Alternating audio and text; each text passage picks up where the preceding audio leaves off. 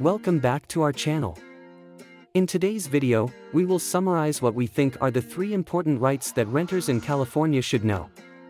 Most of us rent our apartment or house, so, it's important to know what our rights are, as renters.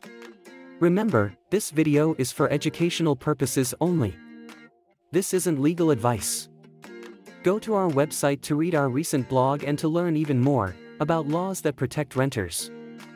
Also, stay tuned for a bonus piece of information, and so we can tell you how you can have a chance to win a $50 Visa gift card. Now, on to the video.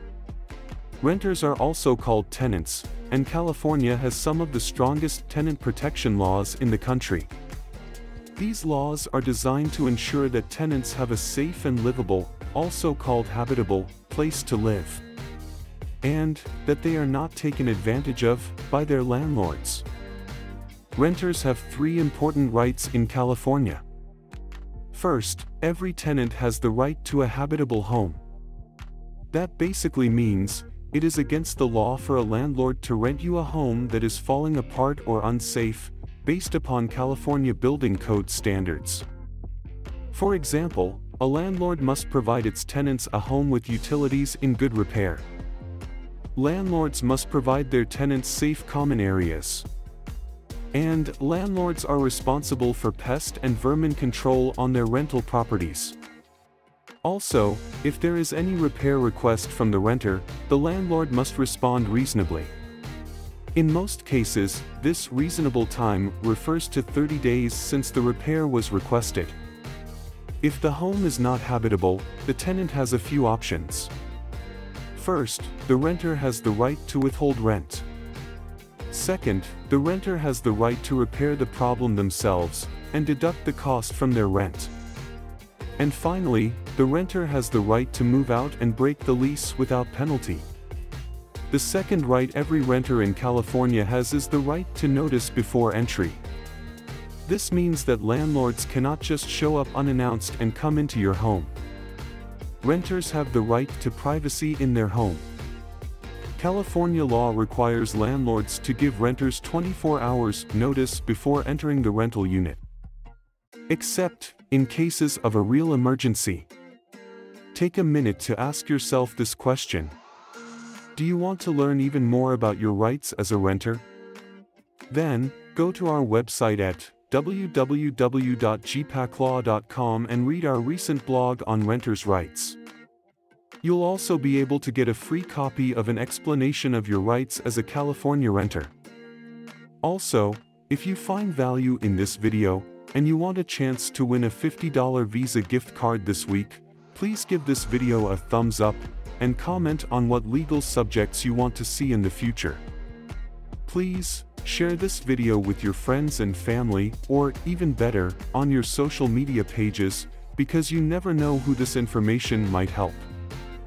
Finally, subscribe to our channel and hit the notification button, so you get updates when we post videos on legal topics that are relevant to you. Finally, please subscribe to all our social media platforms so you can get updates when we post videos about legal topics relevant to you. We really appreciate it because it helps us to help others know their legal rights as employees and individuals living in California. Now, back to the video renters have the right to a fair hearing. This prevents landlords from retaliating against their tenants or violating their tenants' rights. For example, a landlord can't evict a tenant for complaining about the electrical problems in the house and requesting the problem be fixed. If a landlord takes any action against a tenant, such as evicting them, the tenant has the right to present their side of the story to a judge or arbitrator. The judge or arbitrator will then make a decision based on the evidence presented. And a bonus piece of information. Did you know that landlords are required to give you back your security deposit? It's true. Tenants are entitled to their security deposit within 21 days after they move out of their rental unit. However, there are two common reasons when a landlord may withhold all or part of the security deposit. The two common reasons are, 1. Covering unpaid rent, and, 2. Deducting expenses for cleaning or repairs that come from extreme wear and tear. Landlords who deduct expenses from the security deposit must provide an itemized list of the repairs they did with those funds. Demand an itemized list from your landlord if they don't return your security deposit. If a landlord wrongfully withholds a security deposit, they might have to pay an expensive penalty to the tenant. We've introduced just a few of the important tenant laws in California. If you suspect your landlord is violating your rights as a tenant, contact an attorney, like Gateway Pacific Law Group. We can provide you a free consultation and assist you if your rights are in fact being violated.